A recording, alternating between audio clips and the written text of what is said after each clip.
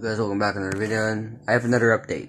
Um, obviously, um, yesterday I made a video, uh, or two days ago, about PN5 having to get delayed till 2022, because uh, I lost the worlds.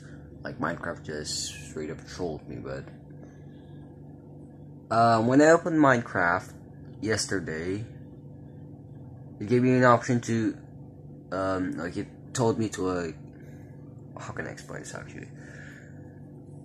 Um, when I opened Minecraft, it's pretty much the worlds came back. Like Minecraft, I guess they just pranked me for a day. So um, PN5 have has already started.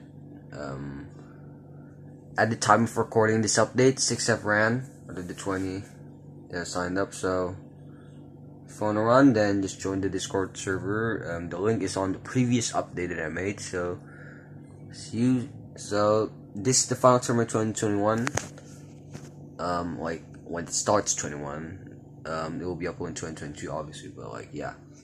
Christmas tournament so